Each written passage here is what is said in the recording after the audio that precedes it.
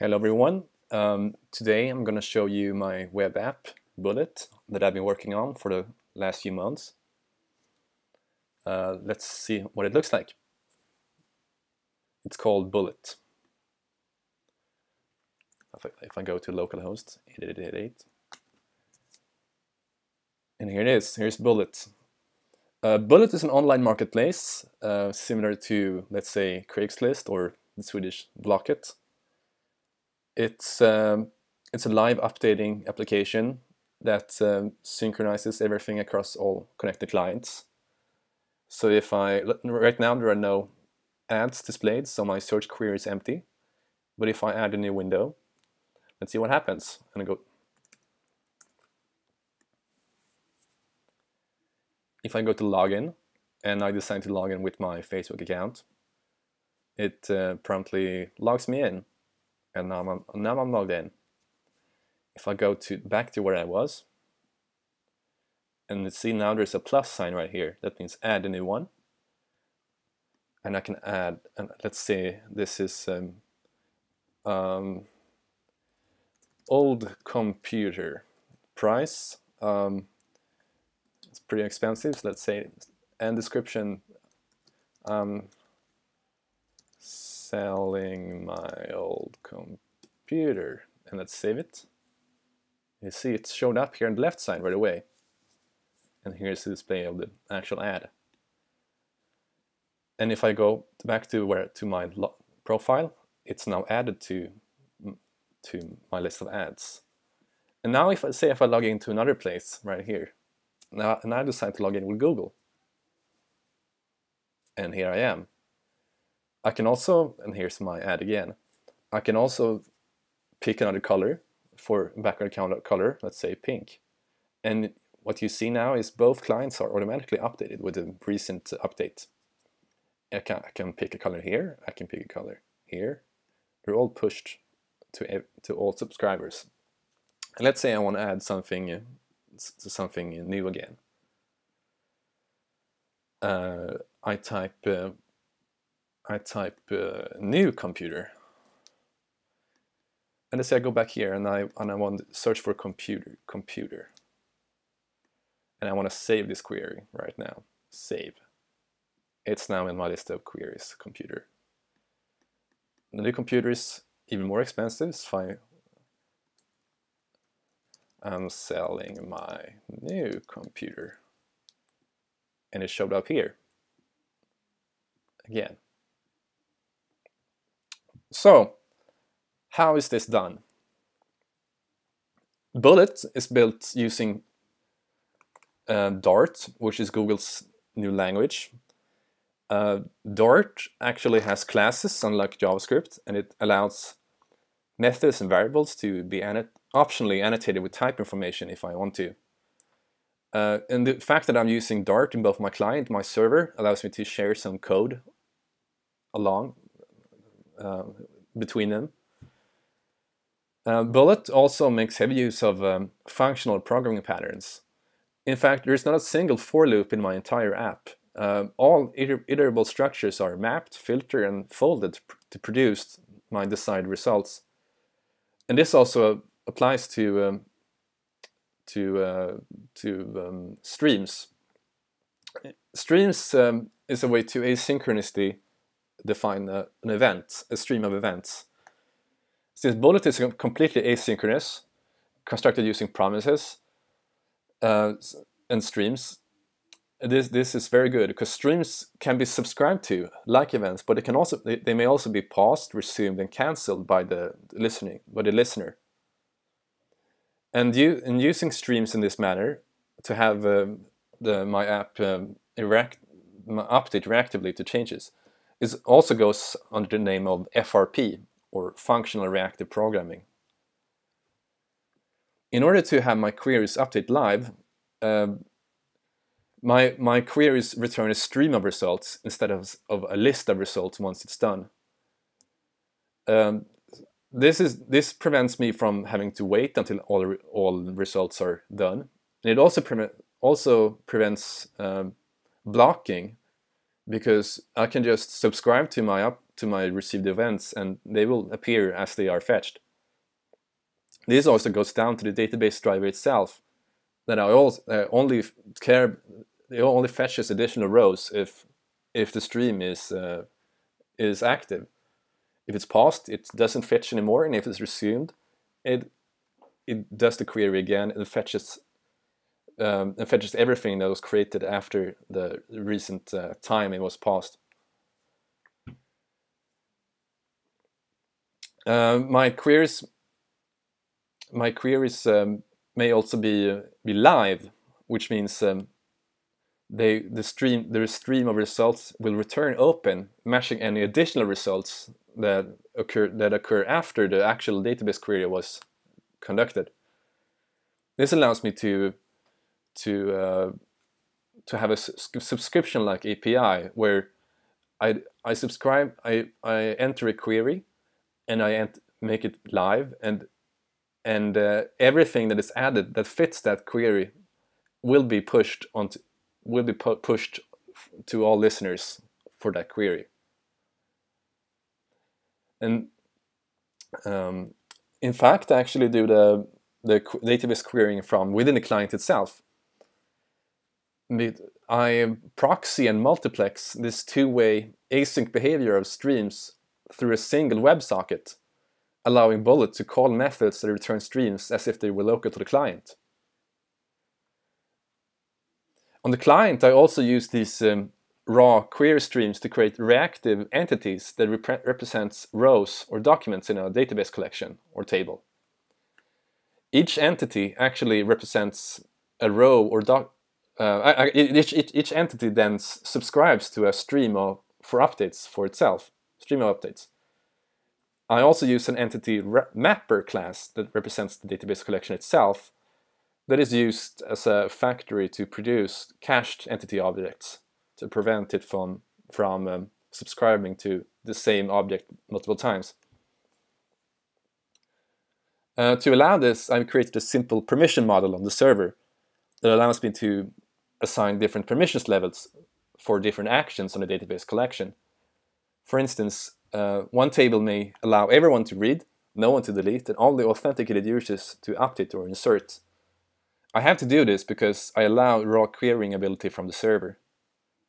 Um, for authentication, I use uh, uh, Facebook and Google Plus, like right here. I have wrapped their respective JavaScript SDKs into Dart classes that inherit from a common interface. The SDKs then handle the actual login prompts and fetching of access tokens. And all I have to care about is um, to is for them to log in and fetch the token. Uh, when a user is authenticated on the client, each database request will send that database token along on each request. Uh, on the server, I then check with Google's or Facebook's API to make sure the access token being sent with the request is actually a valid one and not a fake one. Um, to put the client together, I have used Angular Dart, which is an official re reimagination of AngularJS in the Dart language, made uh, by the original users, uh, creators. Um, it allows for the same two-way binding syntax that its JavaScript counterpart uh, has, but it, sets, but it sets itself apart in that it uses actual classes to implement directives, controllers, and components. Uh, it also uses a, uses a type-based dependency injection system instead of a string-based one, allowing me to inject implementations of different interfaces. To define a dependency, each class simply lists them in, their, in its constructor. So right now I'm going to show a little bit of the code. Uh, right. I'm going to start by showing you the client. This is my main my main app module.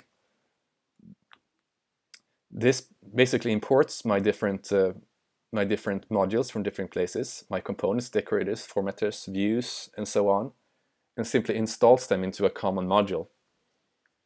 I also I also bind some some um, interfaces to specific implementations. For instance, I, I bind uh, a connector client a connector is my class that that um, allows me to have streams over a over a remote, over a WebSocket.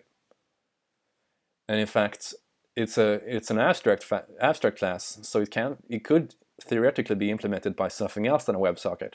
For instance, um, uh, slow uh, long polling HTTP requests.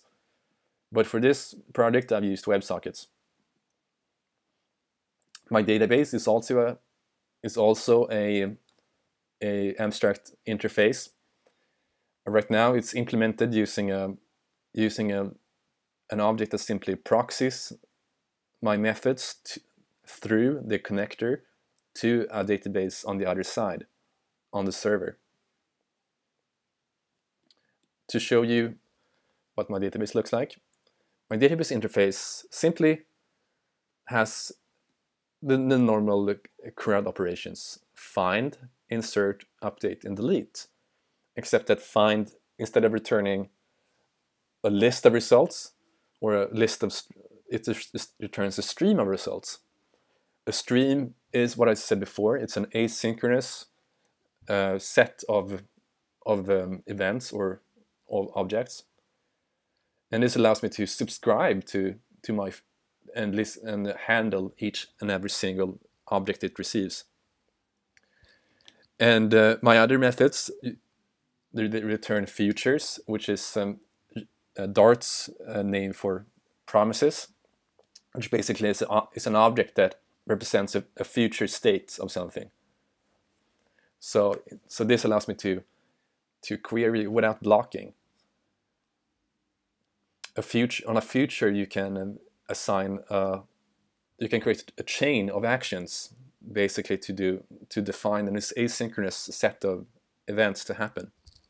Uh, and let's see um, uh, my connector. Let's go. Basically, my connector is it it uh, consists of two parts: a connector client and a connector server. A connector client has a single method called subscribe, which returns a stream, and you send in a, a an identifier, which is, which is a string, and a list of arguments and a and a, a map of key value key value arguments, key value argument, arguments, and um,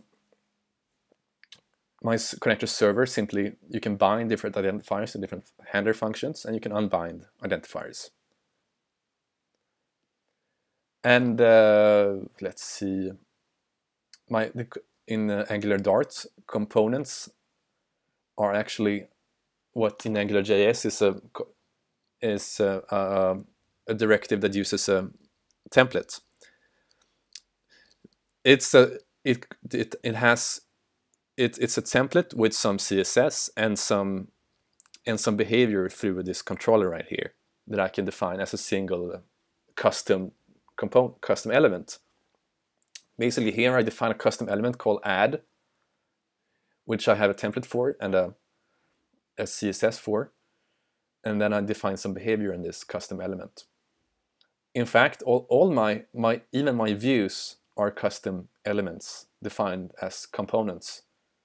My profile, my profile view is, is a component, is a, is an element called profile view, which basically has some methods and behaviors and does what it does. And here's the here's the template for this. For this, you, I can, you see I can use my my normal ng repeat AngularJS syntax, as you expect. I've also implemented a directive called push href on the a, a element that instead of reloading the page, it actually it actually just sends a message to my router to navigate to this place because I'm using HTML5 push state technology.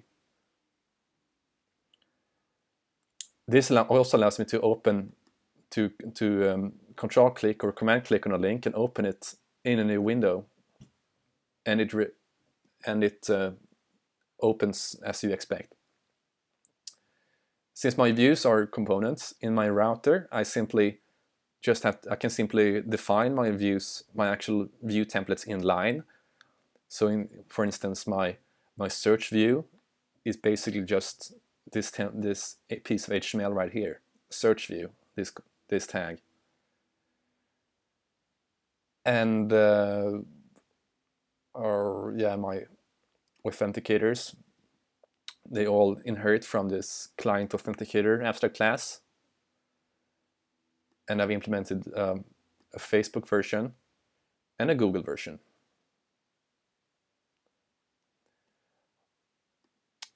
And uh, I think that's pretty much what I have to show you right now.